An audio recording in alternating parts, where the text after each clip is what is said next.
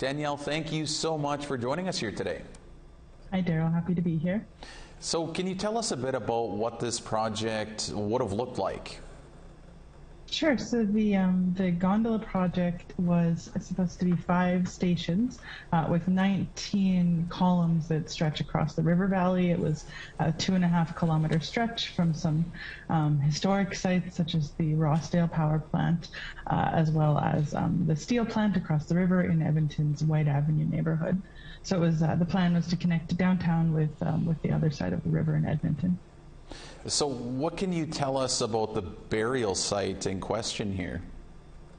Yeah, the burial site has been um, a conversation since the 1970s. So, um, previous uh, to that, there was the Flats, which was a, a, very important trading station as well as a ceremonial site for um, different for indigenous communities there was uh, the last sundance in the city was held in that place.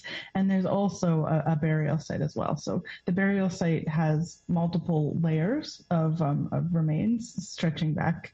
Uh, I, have heard activity as early as like 12,000 years ago. Um, but more recently there were uh, both early settlers and indigenous people buried in that site.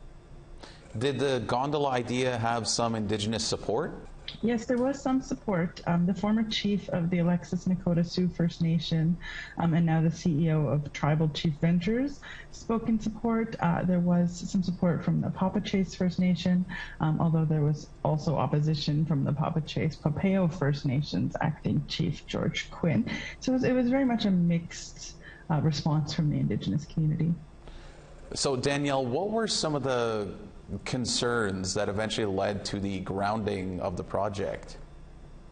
Yeah, Councillor Aaron Paquette, uh, the only Indigenous member of City Council, uh, referred to the initial stages of the Prairie Sky Gondola uh, consultations with Indigenous communities as a manufactured consent. So his concern was that um, they the organization went looking specifically for people that would agree with them and stayed away from the more uh, critical voices. And I think we saw that come out at the city council meetings themselves when um, there were over 50 people initially lined up to speak.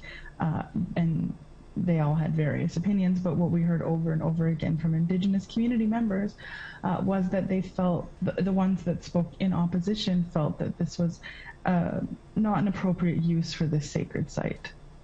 All right, Danielle, we'll have to leave it there. We certainly appreciate your insight into this. You can read more on the story on our website, aptnnews.ca. Thank you again, Danielle. Thank you.